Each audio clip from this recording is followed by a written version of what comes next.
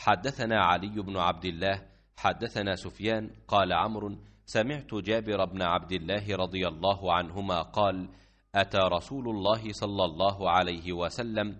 عبد الله بن أبي بعدما أدخل حفرته فأمر به فأخرج فوضعه على ركبتيه ونفث عليه من ريقه وألبسه قميصه فالله أعلم وكان كسى عباسا قميصا. قال سفيان وقال أبو هريرة